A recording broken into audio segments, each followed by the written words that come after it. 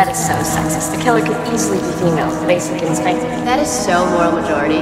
You can't blame real life violence on entertainment. My lawyer liked that. It's the worst imitation I've ever heard, Jill. Speaking of stab, you know where the zone's gonna be yet? According to legal rules. Who's next? She's right there. I mean, face facts. If we're all suspects, you're all suspects.